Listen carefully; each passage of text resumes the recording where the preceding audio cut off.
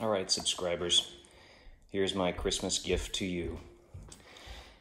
For those of you who celebrate Christmas and really don't enjoy having to reach right under the tree to, to pour water into the tree base,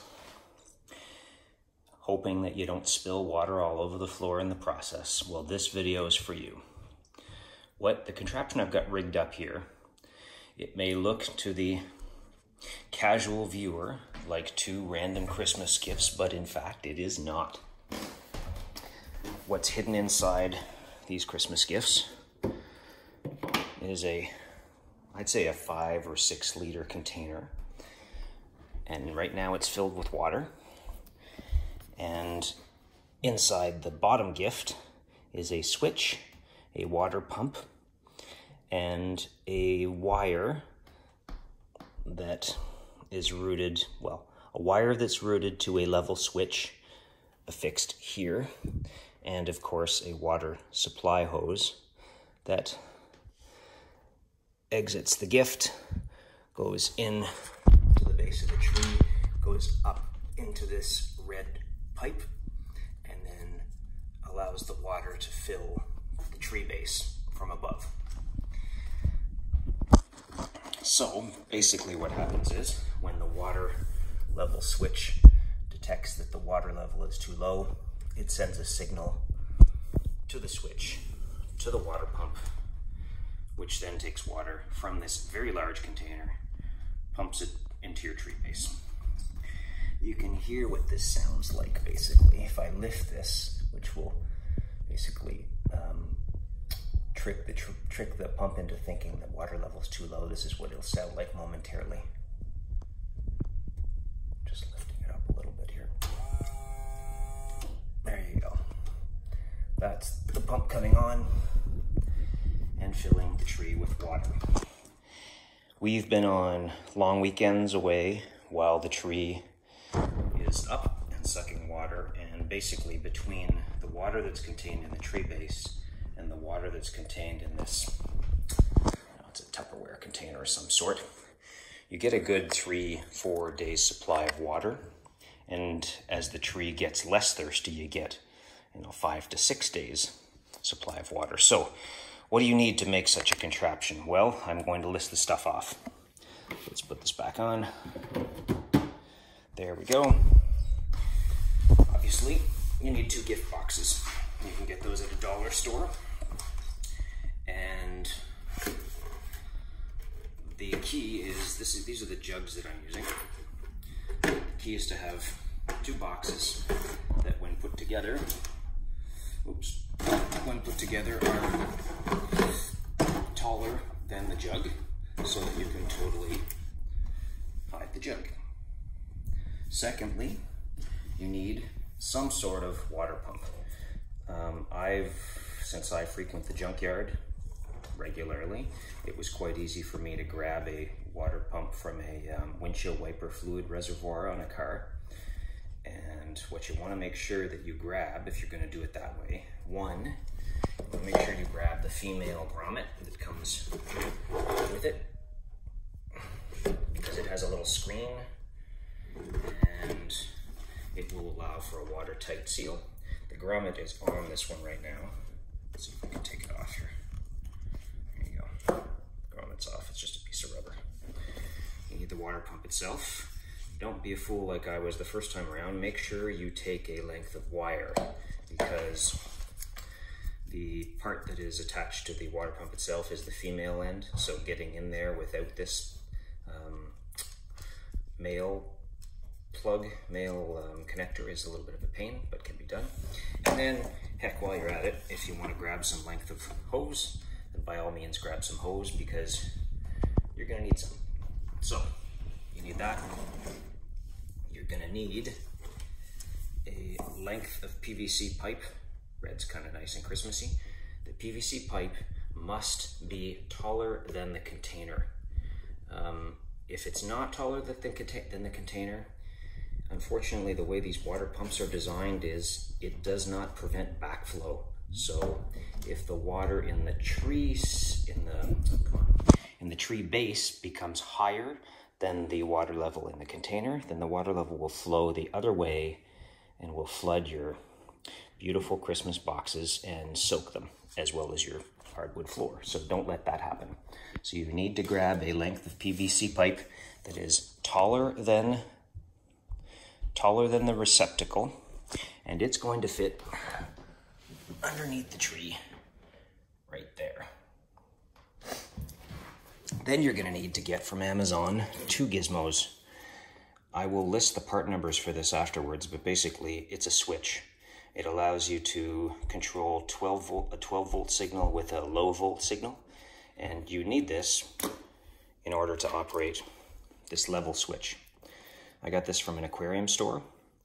Basically, you affix it, and it's basic. It's exactly like a toilet bowl float. The minute this, the minute this goes high enough, it turns the water flow on, and Bob's your uncle. Um, there's two ways to wire this thing. Obviously, one way is that so that it when the water when the when the float goes too low, it turns the water on.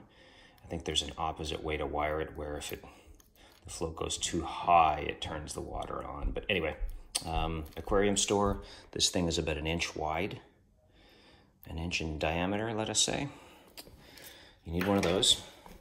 You need a bunch of hose. This is just, um, I don't know, quarter inch hose, 3 16 hose. You're gonna need some brackets because you need to affix the PVC pipe solidly to the tree with at least one bracket. And then you're to need to affix the rubber hose to the tree with, I would suggest, at least two brackets. I got away with one this year. But what you really want to make sure doesn't happen, obviously, if you leave this unattended and for whatever reason, one, the switch gets knocked and is sitting horizontally and doesn't ever turn off, the water will flow and flow and flow until it overflows. Two, if this rubber hose comes out of the uh, PVC pipe, then the same thing will happen every time the water turns on. It'll flow all over the floor. So those are the two things to watch out for. Forgot to mention two things. One is you're gonna need something to affix the sense the level sensor to the tree. I, I use this stuff and all I did was bend it in such a way that it would grip onto the frame of the base as well as grip onto the tree. So I bent it so that it springs back and, and doesn't move. You're also going to need a 12 volt um, power supply. So all I did was head to Canadian Tire and grab two 6 volt batteries, which fit side by side in the bottom box. And then I wired them in series to get 12 volts out of them. And then, if you do want a manual cutoff switch, you're going to need to get a switch. Any switch will do, as long as it can handle 12 volts or greater. Uh, you don't need the switch, but honestly, it's highly desirable because there are times where you really just will want to shut it off. Uh, maybe the sound annoys you overnight, or maybe you just want it off during the summertime when you're storing the stuff. All right, I was being lazy. I'm going to give you the wiring um, the wiring, some wiring tips for wiring the switch. All right, so what you want is two wires leaving the switch, obviously. One of those wires goes to the top. The other wire, one of the wires goes to the top left of the switch itself It's here like that. The other wire coming from the switch goes to the positive end of one of the batteries. The on the other side of the switch, you'll have three wires departing. The first one is directly opposite the other one on the other on this side. This wire here if you follow it, goes to one terminal, one of the two connection points on the water pump. That's the first connection here, right here. Let's follow it again just to make sure. There you go.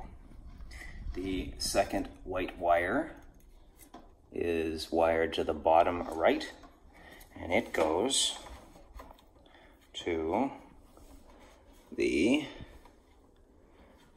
negative terminal on the second battery.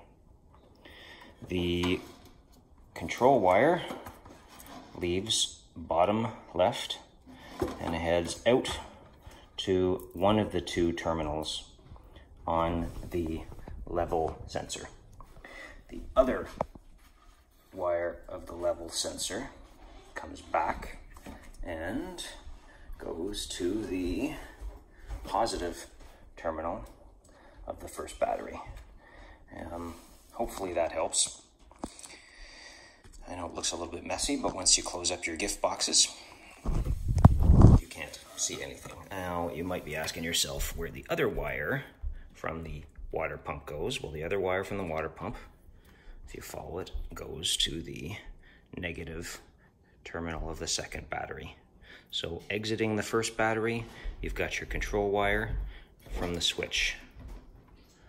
Exiting the first battery positive terminal, control wire from the switch, and one wire to the on-off switch. Negative post of the first battery goes from negative of the first battery to positive of the second battery. And then on the other on the other battery, on the leaving the negative terminal here, we've got one wire to the to the water pump, a second wire to bottom right of the switch, and a one, two, that's it. And on the positive terminal of the second battery, you've just got that tie cable from one battery to the other. All right, that does it. That should send you in the right direction as far as how to wire this um, this switch of some sort, which I will give you a link to in the description. Merry Christmas.